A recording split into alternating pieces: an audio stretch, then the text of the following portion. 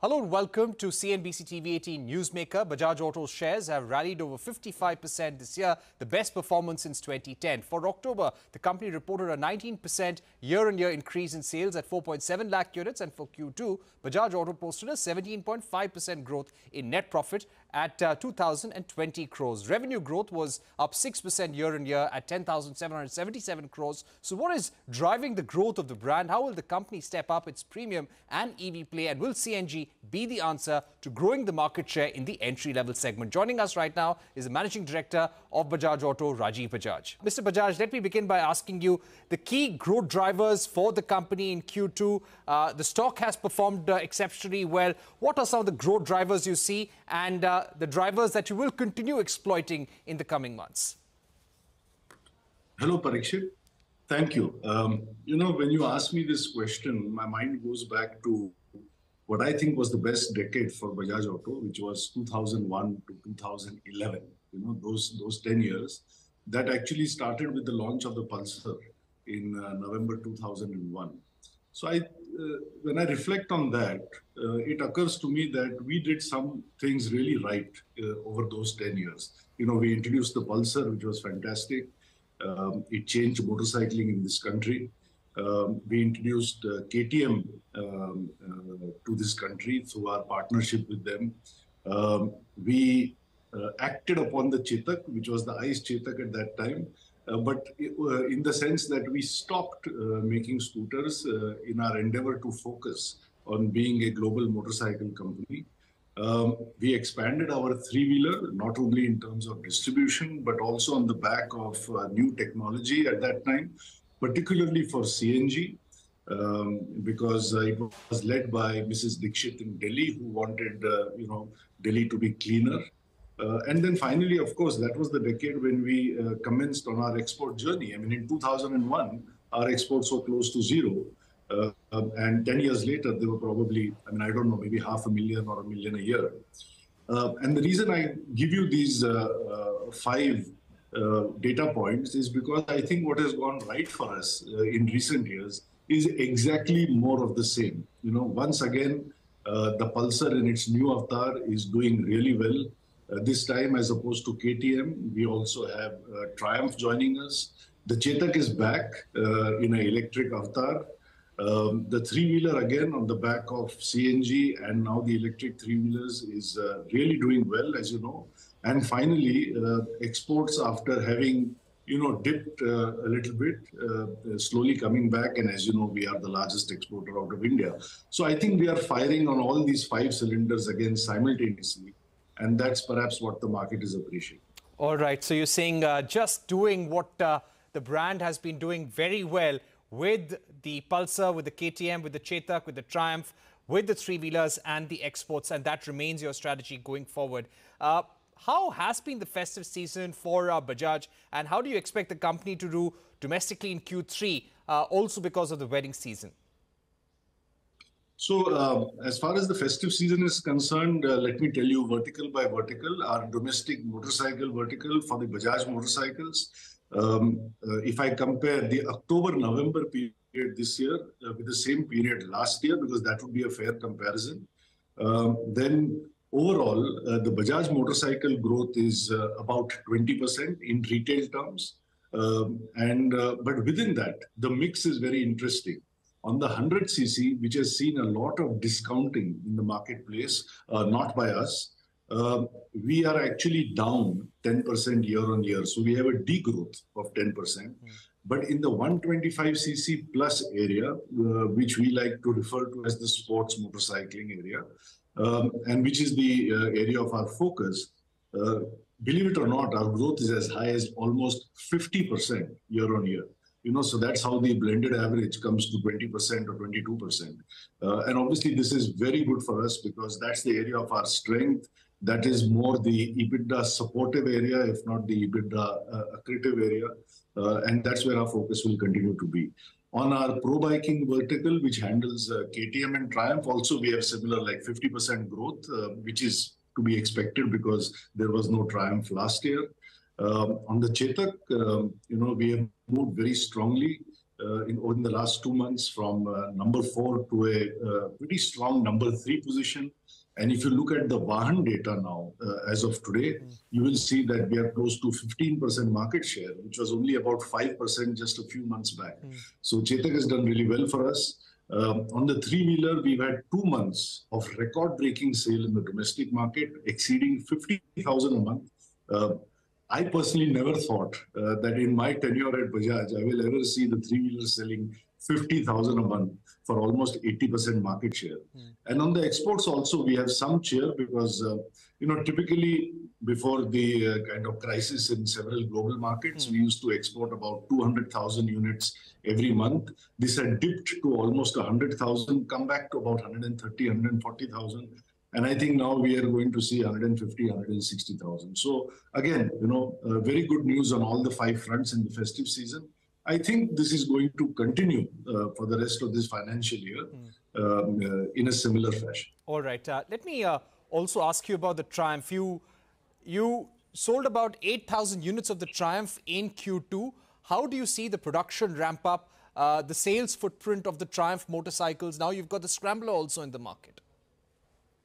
So we are uh, taken a little bit by surprise, I must admit. Uh, we had prepared ourselves for 5,000 a month because, you know, uh, primarily the market leader there, Royal Enfield, is, is a very tall and very deep uh, brand. Um, and, uh, you know, all of us have tried. Uh, over and over again in recent years, but nobody's really been able to make an impact. Mm. So our initial capacity, as I had shared with you previously, was for 5,000 a month. Um, and yes, last quarter we have done, I think, uh, 8,000 totally. This quarter, I think we should more than double that uh, to about 18,000, which means an average of 6,000. So out of a capacity of 5,000 a month, we will hopefully be able to uh, squeeze out 6,000 triumphs on an average every month this quarter. Not easy with all the Diwali break, etc. Um, and that is a mix of both domestic and exports of both the Roadster and the Scrambler. And going forward, uh, you know, obviously the next stop uh, should be 10,000 a month. And I think we are looking good for that. Uh, I must say that apart from expanding capacity, we also have to expand distribution because as you know, Triumph has its own exclusive network. We inherited about 14 or 16 dealers from Triumph. I think we might have about 25 dealers now, you know, versus let's say a thousand for Royal Enfield or 800 for Bajaj. So we still have a long way to go before uh, we establish the required uh, distribution footprint. Mm. Uh, so as capacity and distribution expand, mm. I think we will see this number expand. All right. Uh, so you're saying that you look to really double production and sales of uh, the Triumph from 8,000 in Q2 to about 18,000 in Q3. Uh, so strong numbers there. I'd like to ask you about ramping up uh, sales of the Chetak as well. 7,261 units in October, 11% uh, market share for Bajaj currently. How are you working to increase the market share here onwards and some of the strategies you would be deploying? Oh, well, uh, as I said, we are now uh, averaging about 15% uh, market share at a Vahan level. Uh, I suspect retail market share is a little ahead of that. As you know, Vahan takes a few weeks to catch up with the with the retail data. Uh, so the retail gives us uh, a lot of confidence. We are now averaging about 10,000 a month on average. again, we were constrained by capacity. Uh, and uh, I guess the next logical step uh, for Chetak is, I would say, 20,000 a month for a, let's say, 20% share. You know, so 2020 should be the next stop for Chetak. How are we going to do this? Uh, well, the old-fashioned way, uh, we have to, again, like Triumph, we have to expand production capacity, which should be done within this quarter uh, to the level of 20,000.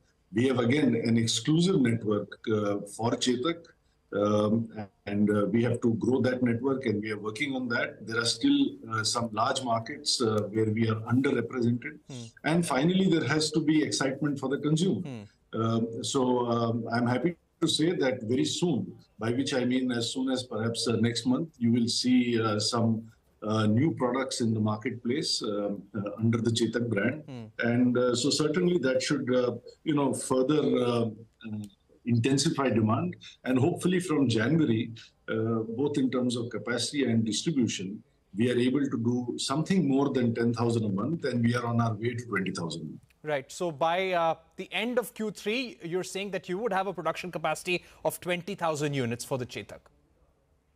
Uh, that is correct. Right. Uh, in terms of taking it, the market share, uh, currently you've got uh, uh, Ola, which is at about 35%. would do you think by when do you think you'll be able to probably reach a higher market share in the range of 30%? No, no, Parikshit, unlike me, you have not done your homework. Ola was down to 30% already in, in October.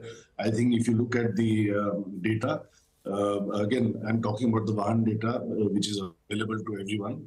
Um, and uh, uh if you look at the recent Vahan data as of like yesterday or day before, uh, the data that I saw suggested that uh, the top three players had a market share of uh, Ola 23%, TVS 20%, and Bajaj at 15%. Mm. So I think the top three are now pretty close. Mm. Uh, of course, this can change. Uh, you know, uh, uh, there is so much activity there in the market in terms of uh, new products, in terms of prices changing, mm. etc. So it could go either way. But as of now, this is how um, you know the three stand in the marketplace. Right. in terms of exporting the Chetak, taking it to global markets, what's the plan? Mr. Bajaj? Uh, you know, quite frankly, I think Rakesh is in a better position to answer that. And uh, since he's been away for a for a bit, I I am not uh, updated on that. I do know that uh, he has uh, two or three markets in mind. Uh, I don't think anything is concluded yet, but I will say this: that this is, uh, uh, you know, India is the most important uh, market for electric vehicles of this kind, particularly. Mm. I mean, uh, I don't know if you're aware that uh, apparently China sold 59 million electric two wheelers last year, mm. but then a lot of them were the small, cheap kind of stuff mm. that I don't think we really want to see in this country. Hmm. Uh, so uh, stuff that is of the standard of the Chetak, by which I mean the design standard, the quality standard, and the service standard for which the Chetak is being appreciated today. Mm. Um, you know, India is the most important market. So, quite frankly, mm. uh, you know, even if we just focused on this market for the next five years, uh, that itself would offer tremendous growth uh, for this brand. So, no immediate plans for exports? No. Okay. On that note, we take a short break, but don't go anywhere. This conversation with Rajiv Bajaj continues on the other side.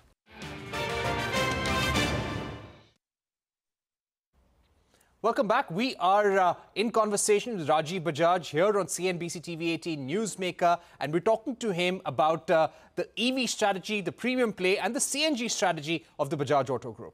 In September, you had hinted to us that you're working on a CNG motorcycle. Uh, what is the current status of that plan, uh, of that pilot? Because there have been reports that you have you've been testing this and could be possibly uh, launched next year. Could you give us a sense of the CNG plans? Sure. So yes, it's no secret that we are working on a CNG uh, two-wheeler, um, uh, and uh, the uh, apparently the prototype of the motorcycle has been spotted. Uh, I haven't seen those details, so I'm not going to comment on that. Um, as I had shared with you, this is something we thought of recently, and as the proto itself would suggest, in case uh, that is authentic, we are in very early stages of the game. So what I'm prepared to say today is that this is not something we are about to launch, uh, you know, uh, in this year or something like that. Uh, but I'm prepared to say that within the calendar year 25, uh, which means uh, within the next two years, we would certainly hope uh, I would not say we have decided to, but we are very hopeful of uh, launching this motorcycle. And let me tell you why primarily, Parikshit. You know, there doesn't exist a CNG two-wheeler in the world today, to the best of my knowledge, unless you know there is some uh, jugaad stuff happening somewhere, as there is in India also. I am told people retrofit uh, CNG onto their scooters and motorcycles, and there's very good reasons for this. And let me give you four of the top reasons. Mm. Uh, the first three have to do uh, with emissions and hence with your health and my health. Mm. Uh, let's start with uh, carbon dioxide, CO2, mm. which, as we know, is very important for global warming. Mm. Now, when we made the prototype and compared the CNG motorcycle hmm. with the ICE motorcycle, the petrol motorcycle, hmm. there is almost 50% reduction in CO2. Next, carbon monoxide, which we know is very hazardous hmm. for human health there is a 75% reduction Hmm. in carbon monoxide. And finally, in terms of non-methane hydrocarbons, Hmm. uh, you know, obviously with CNG, that is almost zero. So in fact, there is a 90% reduction. Hmm. And in terms of the operating cost, which is of course more important for the Aam Aadmi customer, if I may call him that, uh, than is the emission consideration for better or worse. Uh, there is almost a 50 to 65% reduction um, in the operating cost in terms of the fuel bill. Uh, you know, so it's it's effectively like saying petrol instead of 110 rupees a liter is suddenly going to become 50 rupees a liter. And I think the proof of the pudding is in what has happened in the three-wheeler industry, for example. Of course, CNG has become very popular even with cars and buses. Right. Uh, but you know, especially so with the three-wheelers. Right. So I, would quickly like to confirm. You said uh, you're working towards a launch, a commercial launch, in 2025 calendar year for the CNG motorcycle. Yeah, I said before the end of the 2025 calendar. Before That's right. okay, before the end of the 2025 calendar year. Uh, what do market studies really reveal? Bajaj Auto must be doing market studies. What is the demand for a CNG motorcycle in the market? Because uh, people have traditionally bought uh, petrol motorcycles. Now there are customers moving towards electric vehicles. Uh, what do market studies really reveal? It's very hard to uh, uh, uh, do anything more than speculate, but let me give you a somewhat longish answer to this. Let's take reference of the three-wheeler market, uh, which is as close as we can get to the two-wheeler market right now. You may be surprised to know that with the government's initiative in rapidly expanding the CNG pipeline in recent years, and that's one wonderful thing I would say the government has done uh, as far as the auto industry is concerned. Uh, today, almost 60% of the three-wheeler industry has moved to CNG. You know, with the commensurate benefits, as we just spoke, uh, for the environment and also for the operating cost for the driver and for the customers. Uh, you know, so and within the Bajaj portfolio, uh, and we just finished saying how well Bajaj has been doing with its three-wheelers. Um, you know, 70% of what we sell today, uh, you know, uh, passenger and cargo uh, put together is CNG. So that's one uh, data point. Uh, as far as the uh, two-wheeler industry is concerned, or let's take just the motorcycle industry because that's what we are working on. You know, pre-COVID, our industry used to be about a million a month. Now it is between 800 and 900,000. So we have still not come back to the pre-COVID levels. And I'll come back to this point in a second. Um, you know, if you were to apply 70% to that, that would be a huge number. But I'm saying even if 10, 20% people uh, would consider uh, CNG, you're talking of a very large number of motorcycles. You're talking of probably 200,000 motorcycles every month at, a, at a 20% uh, uh, conversion. You know? But here I must make two important points if you will give me two minutes to do that. And that is, I want to make a statement that our industry and two wheelers in this country has really suffered in recent times, not so much, you know, because of the COVID lockdown, not so much because of commodity price increases, uh, not so much because of the chips and chip shortage, as it has uh, for the fact that it is over-regulated and over-taxed. You know, by over-regulation, I draw your attention to the fact that I have been saying this for last three, four years now, and I believe I have heard Venu sir say this, I've heard Bhargav Sahib say this, that, uh, you know, in terms of the regulations brought in for emission safety and insurance, it has pushed up the cost of an average motorcycle by about 35%. And today, uh, our uh, safety norms in terms of mandating ABS or emission norms in terms of BS6 put us squarely on par with European norms. Now, that's good. I mean, if we want to benchmark the best in the world and be there, no problem. You know, I mean, we have the technology to do it. We are a global player. But then we must also understand that there is a huge commercial implication of that on what is essentially the vehicle of the Aam Aadmi for his daily commute and to earn his daily livelihood. Hmm. And that brings me to the point of this being a heavily overtaxed market. Hmm. You know, the third biggest two wheeler market in the world after China and India hmm. is typically Brazil. Yeah. Uh, you would be surprised to know perhaps that just as our GST is 28%, it is only 9.25% in Brazil. You know, the next biggest market is Indonesia. It is only 11% in Indonesia. In Philippines, which is you know as rich or poor a market as ours, it is only 12%. In Malaysia and uh, in Vietnam, it is only 10%. And in Thailand, uh, we all love Thailand, you know. So in Thailand, it's only 7%. So very clearly, the Aam Aadmi in India is being made to pay, on an average, I would say, about 15% more in taxation terms than his counterpart in all of these economies, which I think are very comparable to us. So, excuse me, I, I think that uh, what is very important uh, is that when new technology is introduced, whether for safety or emission, mm. or say in this case CNG, at the same time, mm. we need to relook at the GST structure if we want industry to grow, if we want India to continue to be a powerhouse of two wheelers in the world, mm. and if we want employment to grow. Right. So, uh, so you, again, uh, you are asking for a reduction in GST, simplification of regulatory costs as well. Coming back to importance of CNG motorcycles for your portfolio, how much are you investing currently in uh, having a CNG portfolio in the two-wheeler segment? Uh, the honest answer, Parikshit, is that I don't know because, as I said, that our work has just started. So, you know, uh, what uh, demand should we anticipate? What share for ourselves? Uh, what make-buy policy we will follow? Uh, hence, what investment we will make? I think it's too early to answer these questions. Right now, we are focused on getting the product right. Right. Uh, in terms of uh, how it would contribute to your revenues, the kind of portfolio mix that you're looking at, how many uh, CNG products would you like to have? What would be the sales mix that you're working towards? Well, in terms of uh, uh, revenues, again, as I said, it's too early for that, but I would put it like this that uh, if we can have 20% penetration in uh, through CNG two wheelers, let's say uh, in a couple of years after they are introduced, and that points to uh, say 200,000 uh, units a month or thereabouts. And you know, typically in this space, uh, we have 40% market share. So let's say arbitrarily we will have you know share of 80,000 vehicles a month, which is a million vehicles a year.